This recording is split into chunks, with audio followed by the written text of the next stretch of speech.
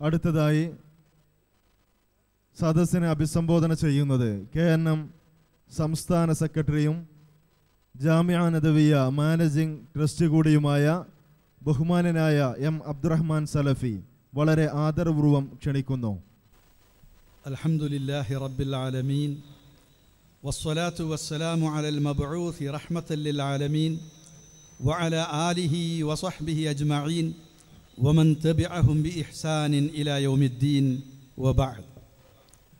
رئيس الحفلة الموقر ضيف شرف هذا المؤتمر صاحب الفضيلة الشيخ أحمد بن سليمان الرومي الملحق الديني في سفارة خادم الحرمين الشريفين في نيودلهي وأصحاب المعالي الوزراء وأصحاب السعادة أعضاء البرلمان أعضاء مجلس التشريع وأصحاب الفضيلة المشايخ ومندوبي ندوة المجاهدين بكيرلا وأعضاء إدارة الجامعة الندوية وأعضاء هيئة التدريس والطلبة والطالبات أيها الحفل الكريم السلام عليكم ورحمة الله وبركاته. هذه أمسية مباركة اتسمت بإشراقة بدر في صلاح نقر صاحب الفضيلة الشيخ أحمد سليمان الرومي. ثم هي أمسية تاريخية بمعنى أنها ستسجل في صفحات تاريخ هذه الجامعة وتاريخ ندوة المجاهدين بكيرلا بمداد من ذهب.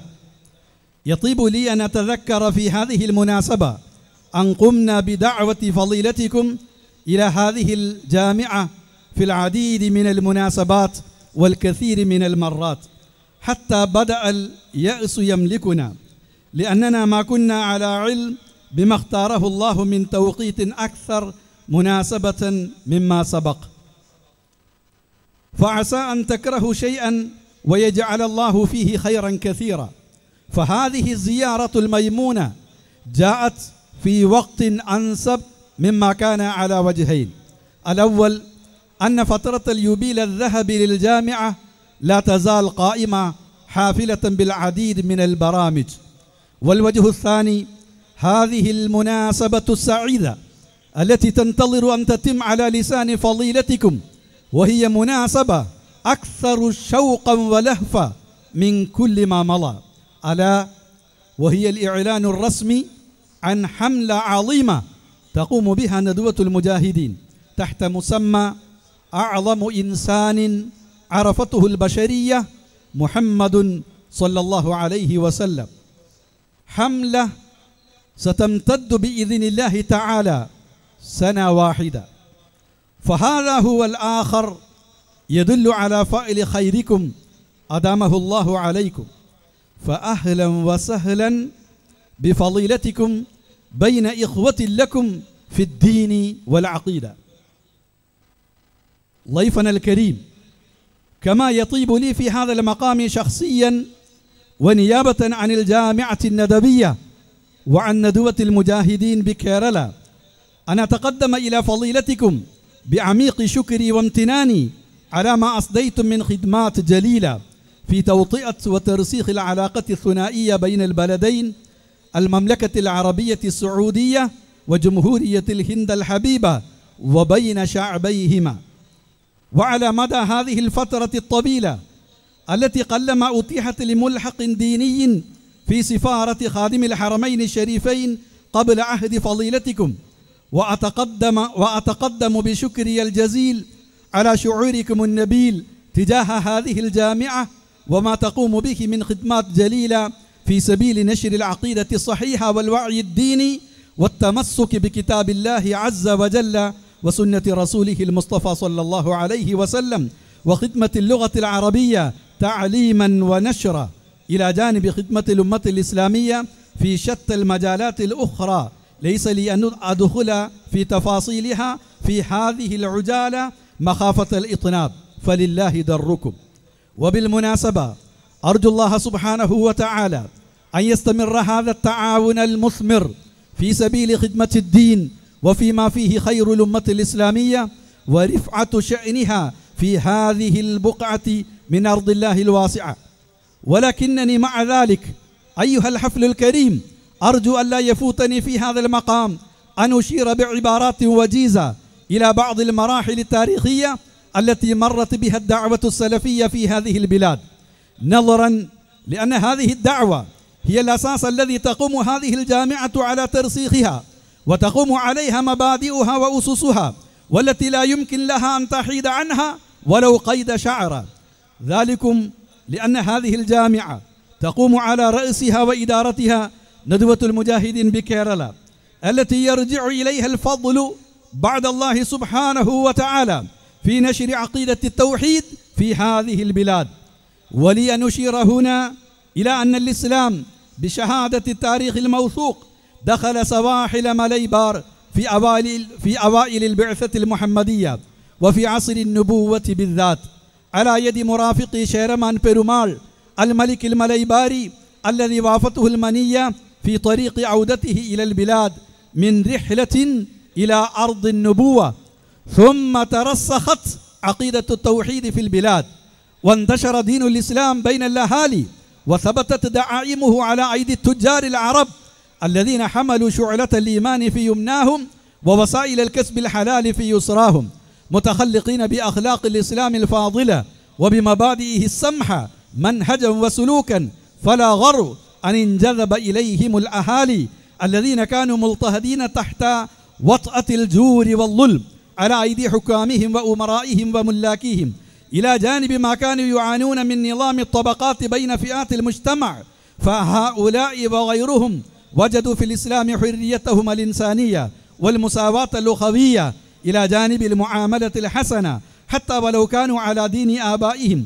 فشأن الإسلام في هذه البلاد هو شأنه في غيرها من أقطار المعمورة التي دخلت في الإسلام زرافات وبحدانة جماعات وفرادة والتاريخ خير شاهد على ذلك. ولله في خلقه شؤون. فب- فبمرور الزمن اضمحلت شوكة الإسلام بعد العز واختلت عقيدة التوحيد بعد الثبات تسربت إليها البدع والخرافات والأباطيل والخزعبلات وعادات وطقوس مما لم ينزل الله بها من سلطان. ساهم فيه أعداء الله إلى حد كبير وجاء الاستعمار البريطاني فكان ثالثة اللثاف على نعش العقيدة الصافية حيث بسياسته الشيطانية فرق تسد. نفخ نوح العداوة بين المسلمين وغيرهم وأضرم فيهم نار الفتن ولم يكتف بذلك. بل فرق بين المسلمين أنفسهم بدس الدسائس فيما بينهم والخداع والتضليل في عقيدتهم والإيحاء بإقامة الفرق الإسلامية وبإحياء الطرق الصوفية إلى غير ذلك من دسائس إبليس. حتى أقام ذلك النبي المزعوم ميرزا غلام أحمد قادياني. أيها السادة تجدر الإشارة هنا إلى أن أخوف ما يخافه أعداء الله وأولياء الشياطين على مر الأيام وكر الأزمان ليس إلا قوة الإيمان. القائمة على توحيد الرحمن ربا وإلها. فهذه القوة الإيمانية القائمة على عقيدة التوحيد الخالصة لا تعلوها في الأرض كلها قوة ولا تحول دونها الترسانات الفتاكة ولا تقوم معها لقوى الشر قائمة. والغرابة أن أعداء الله لا هم أدرى من المسلمين بما تمتاز به وتتميز به هذه العقيدة. وهذا ما دعا مؤسس الحركة الصهيونية إلى العويل رافعا القرآن الكريم في يسراه ومشيرا إلى الكعبة إلى الكعبة الشريفة بيمناه ما دام هذا الكتاب باقيا وما دام ذلك البناء قائما لن نكون قادرين على المساس بهؤلاء القوم يعني المسلمين. أيها الحفل الكريم كانت تلكم حالة المسلمين في الهند عامة وفي هذه البلاد خاصة. ولكن لأن الله جل شأنه لأن الله جل شأنه قد تكفل حفظ دينه وإظهاره على الدين كله. يبعث في هذه الأمة من يجدد لها دينها على رأس كل مئة سنة. فقيد الله لهذه الأمة الإمام محمد بن عبد الوهاب في نجد. وأيده بملك لم يأبه في الله بلومة لائم. على يده قامت الدعوة السلفية. ومن موقعه انتشرت هذه الدعوة على أرجاء المعمورة. كما انتشرت كلمة التوحيد من مهبط الوحي لأول مرة. وعلى إثره وبدون ترتيب أو لقاء مسبق بين الاثنين قام العلامة ثناء الله الأمرسري رحمه الله في الهند.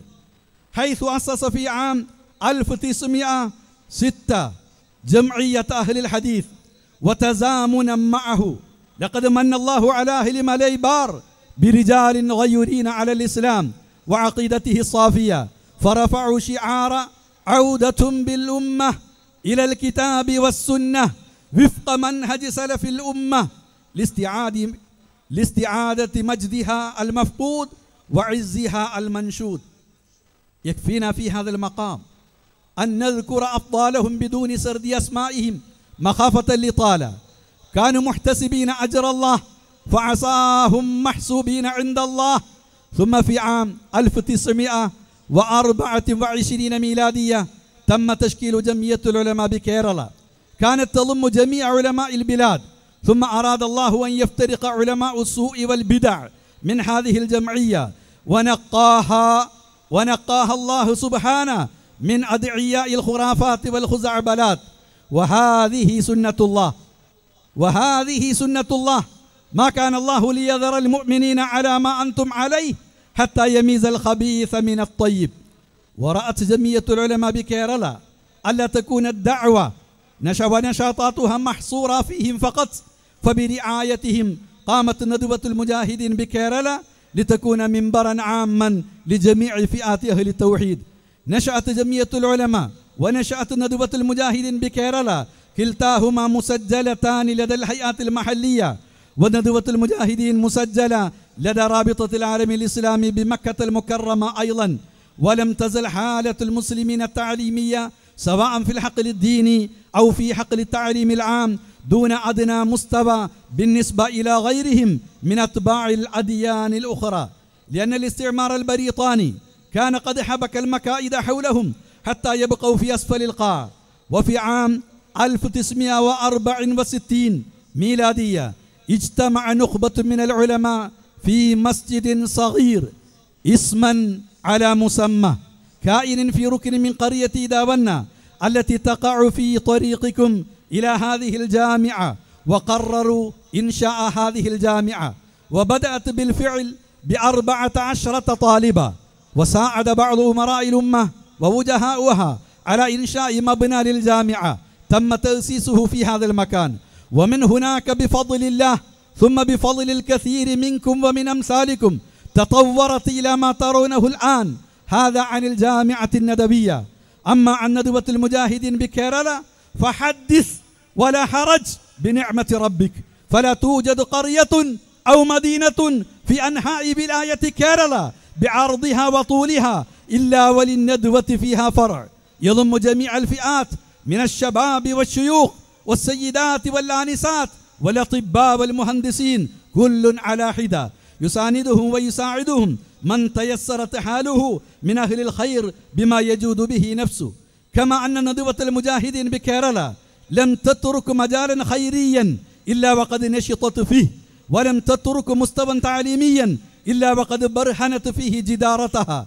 فعلى سبيل المثال لا الحصر تشرف ندوة المجاهدين بكيرلا على جامعتين عربيتين شاملتين. هذه الجامعة أولاهما. أما الأخرى فهي الجامعة السلفية في بوليكل وتشرف على خمسين كلية شرعية.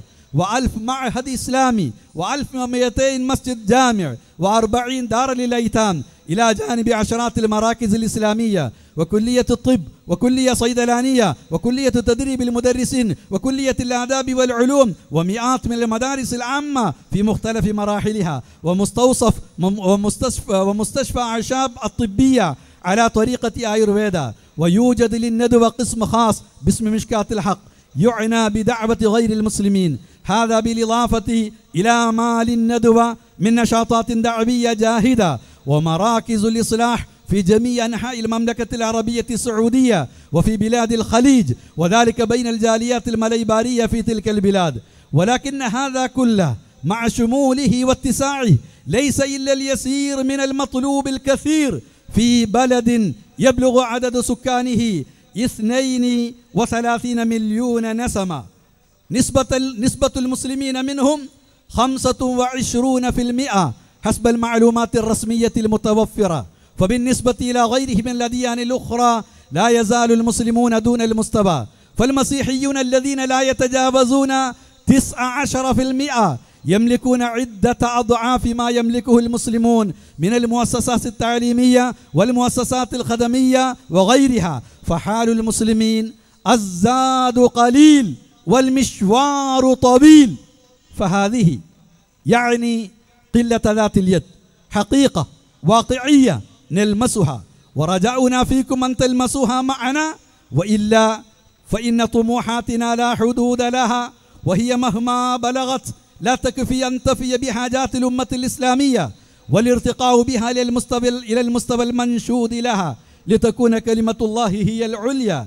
تأبى نفس الإطالة فأكتفي بالإشارة. أما عن الحملة التي نحن بصددها فالهدف من ورائها هو إبراز شخصية الرسول صلى الله عليه وسلم على ضوء ما وصف الله به حبيبه ورسوله المصطفى بالعديد من الآيات القرآنية والذود عن السنة المطهرة وتوعية الناس إلى ما إلى أن أن ما يشاع ويثار من وقت لآخر من تطاول على شخصية الرسول صلى الله عليه وسلم بشتى وسائل الإعلام المرئية والمسموعة والمقروءة. إنما يقصد منه صد الناس عن دين الله أولا وأخيرا. لأنهم إذا عرفوا أن الرسول صلى الله عليه وسلم هو أعظم إنسان عرفته البشرية على مر الأجيال وكر العصور إلى أن يرث الله الأرض ومن عليها فإنه بالتالي يأخذهم إلى القرآن الذي أتى به هذا الرسول وإلى الدين الإسلامي الذي بعثه ربه لدعوتهم إليه. إن الدين عند الله الإسلام إلى جانب ما سبقت الإشارة إليه من قوة كلمة التوحيد ومن قبيل الإنصاف للقول الحق في شأن رسول الإسلام صلى الله عليه وسلم من رجل لا يؤمن بدينه يعني إلى مايكل هارت وكتابه أعظم مئة شخص في التاريخ حيث يقول مايكل هارت لقد اخترت محمدا صلى الله عليه وسلم في أول هذه القائمة ولا بد أن يندهش كثيرون لهذا الاختيار ومعهم حق في ذلك ولكن محمدا صلى الله عليه وسلم هو الإنسان الوحيد في التاريخ الذي نجح نجاحا مطلقة على المستوى الديني والدنيوي. وقال فيما قال وأكثر هؤلاء الذين اخترتهم قد ولدوا ونشأوا في مراكز حضارية ومن شعوب متحضرة سياسيا وفكرية إلا محمدا. فهو قد ولد سنة 570 ميلادية في مدينة مكة جنوب شبه الجزيرة العربية في منطقة متخلفة من العالم القديم بعيدة عن المراكز التجارة والحضارة والثقافة والفن. وقد مات أبوه وهو لم يخرج بعد إلى الوجود وماتت أمه وهو في السادسة من عمره. وكانت نشأته في ظروف متواضعة وكان لا يقرأ ولا يكتب ولم يتحسن وضعه المادي إلا في الخامسة والعشرين من عمره عندما تزوج أرملة غنية يعني خديجة بنت خويلد. ولما قارب الأربعين من عمره كانت هناك أدلة كثيرة على أنه ذو شخصية فذة بين الناس. هذا وقد أورد المؤلف الكثير من الشواهد إثباتا لاختياره محمدا صلى الله عليه وسلم أعظم إنسان في التاريخ. ليس هذا مكان الإسهاب فيها وبالأحرى نحن المسلمين وأتباع محمد صلى الله عليه وسلم في غنى عنها. أما الخطة التي تعتمد عليها هذه الحملة فتتم بمشاركة كافة المنظمات السلفية التابعة لندوة المجاهدين بكيرلا وكافة شعبها وروافدها.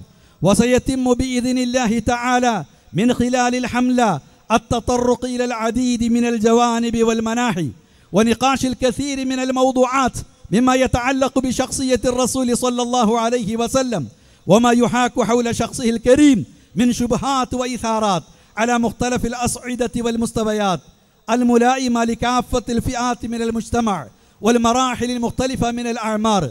بدءا من الأطفال الصغار والنشء الجديد حيث القلوب صافية.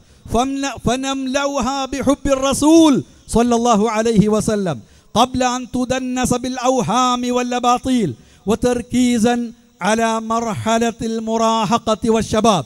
حيث القلوب مضطربة بشتى التيارات والأفكار فنبذل كل ما في الوسع لتقويمها وإرشادها إلى الصواب. وعلى الجنس اللطيف النصف الثاني من جنس البشر حيث القلوب عرضة للميل فلا بد من تقويمها دون الكسر. وعلى الحكام والأمراء ورجال الفكر والسياسة اعتبارا ما لهم من نفوذ في قلوب أتباعهم. وبالتركيز فوق هذا وذاك على رجال الصحافة والوسائط المتعددة حيث نفوذهم ملموس في كافة الأوساط. فينبغي إرشادهم إلى الصواب بالحوار المثمر والموعظة الحسنة. وهكذا فإن هذه الحملة إن شاء الله وبتوفيقه لا تترك فئة من- الفئات ولا فردا من ولا فردا من الأفراد ولا بيتا من البيوت في ربوع كيرلا. من شمالها إلى جنوبها ومن غربها إلى شرقها إلا وقد بلغته رسالتنا إن شاء الله تعالى مساهمة منا بما اوتينا من وسائل من محاضرات وندوات وحوارات هادئة ونقاشات هادفه وزيارات ميدانية ونشر وتوزيع النشرات والمطبيات والكتيبات وتوزيع الأقراص المدمجة وغيرها في تبليغ هذه الرسالة مصداقا لقول الرسول صلى الله عليه وسلم ليبلغن هذا الأمر ما بلغ الليل والنهار ولا يترك الله بيت مدر ولا يترك الله بيت مدر ولا وبر إلا أدخله الله هذا الدين بعز عزيز أو أو بذل ذليل. عزا يعزه الله به الإسلام. وذلا يذل به الكفر. ومسك ختام الحملة سيكون بإذن الله معرضا إسلاميا عالميا تحت عنوان The Messenger. كأنم International Exhibition on Prophet Muhammad صلى الله عليه وسلم. الرسول المعرض العالمي عن محمد صلى الله عليه وسلم. يمتد هذا المعرض على مدى شهر واحد. تعرض فيه معارض في كل من اللغة الإنجليزية والمليالمية. وسيكون هناك أدلاء مدربون لتوعية المشاهدين والزوار المعرض وللإجابة عن أسئلتهم واستفساراتهم. كما تتخلل المعرض محاضرات يلقيها دعاة ذوي الشهرة العالمية. أيها السادة أيها الحفل الكريم لنا في هذه المناسبة أن نستذكر ونستوضح بعض ملامح العلاقة الثنائية بين المملكة العربية السعودية وجمهورية الهند. ولا نتطرق في هذه العجالة إلى علاقة الهند بالجزيرة العربية لأنها قديمة قدم التاريخ فمنذ قيام المملكة العربية السعودية.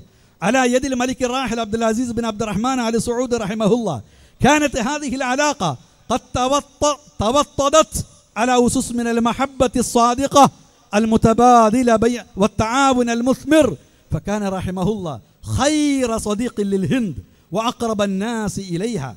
كما أن الهند كانت تتبادله هذه الصداقة وهذا التعاون في كافة المجالات. ثم توالت هذه الصداقة والعلاقة المتينة بين البلدين. فقام الملك سعود بن عبد العزيز آل سعود رحمه الله بزيارة الهند. امتدت سبعة عشر يوما بدءا من تاريخ العاشر ربيع الأول 1375 هجرية. حيث كان في استقباله رئيس جمهورية الهند راجيندر برساد ورئيس الوزراء بندت جواهر لال نهرو واغتنمت جامعة علي كرة الإسلامية هذه الفرصة لمنح الملك الراحل شهادة الدكتورة الفخرية في الحقوق. تجدر الإشارة هنا إلى أن إلقاء كلمة الترحيب بالملك سعود في تلك الزيارة كان من حظ فضيلة الشيخ عبد الوهاب العربي. أمين عام جميع أهل الحديث عن ذاك. ثم بعد خمسين عاما زار الهند خادم الحرمين الشريفين الملك عبد الله بن عبد العزيز آل سعود. تغمده الله برحمته وأسكنه فسيح جناته. هذه الزيارات يمكن لنا أن نعبر عنها بأنها زيارات قائمة على العلاقات السياسية الثنائية بين البلدين. وإن كانت الزيارات الشخصيات السعودية ولو كانوا سياسيين لا تخلو من مسحات دينية. فإن للجامعة الندوية أن تعتز بالعديد من الزيارات التي قام بها الكثير من الشخصيات الدينية البارزة. أمثال الشيخ محمد بن عبد الله سبيل رئيس شؤون الحرمين الشريفين والشيخ عبد الله بن عبد الله الزايد أمين عام الجامعة الإسلامية بالمدينة المنورة والشيخ عبد الله بن سليمان بن منيع مستشار الديوان الملكي والشيخ الدكتور عمر محمد فلاتة أمين عام الجامعة الإسلامية بالمدينة المنورة والشيخ صالح بن غانم السدلان والشيخ عبد الرحمن بن حسين الفيفي مستشار وزير الشؤون الإسلامية والشيخ محمد أحمد اللهيب مستشار وزير الداخلية وغيرهم من مشايخ وعلماء المملكة العربية السعودية وغيرها من البلاد الإسلامية والعربية. وفي الختام إن فرحتنا بزيارتكم الميمونة يا فضيلة الشيخ.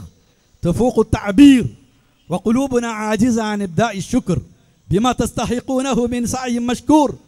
لقد أثلجتم صدورنا وغمرتم بالفرحة قلوبنا فجزاكم الله عنا وعن الإسلام خيرا.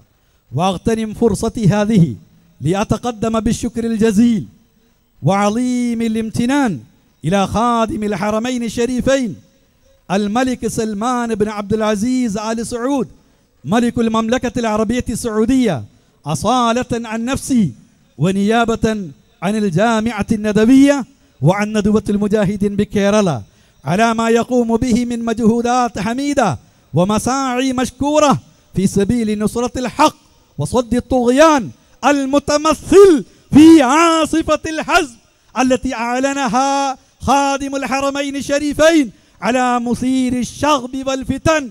أعانه الله وسدد خطاه وجعل النجاح حليفة في كل ما يقوم به في سبيل درء الفتنة والفساد.